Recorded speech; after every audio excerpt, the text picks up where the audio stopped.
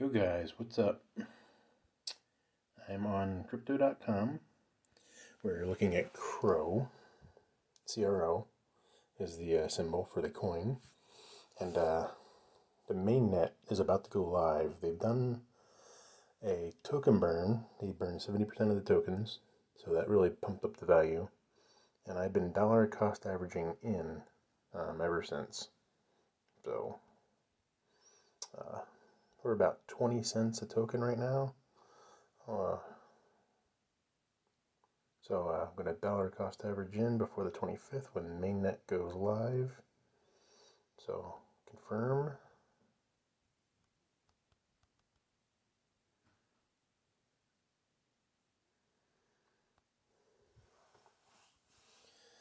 All right, you can see over the last three months, we've had a meteoric rise mostly because they did that token burn. You can see it spiked right about that time. And then mainnet is uh, coming online on the 25th. So if you guys are interested in the crypto.com ecosystem and the uh, card that gives you a lot of benefits, I think I've talked about this before you might want to get in now. They've they've changed their staking requirements. Uh, they went to dollars from tokens, and uh, seems like a lot more people are interested in doing that. So go check it out, and uh, let me know what you guys think about this coin. It's pretty interesting. There are uh, a lot of coins out there. See other ones that I have in my wallet. So you have some Doge, Cardano is a good one. Dollar cost averaging into that. Uh, CELR is interesting story behind that one. I'll have to cover that in another video.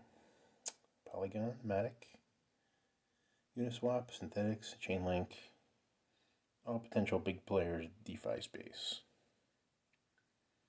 We'll see how things go. Then we got the Visa card. Okay, I haven't really started using it yet, so can't really tell you much about it. But it looks like to be a good card. Try it out. Alright guys, if you have any comments or questions about these tokens, let me know. Tell me what your favorite DeFi token is, or favorite token is overall. Though Bitcoin's taken a bit of a hit the past few days. I've been uh, dollar cost averaging into that as well. So let me know. Subscribe to my channel for more videos on crypto and trading stocks. Thanks for watching.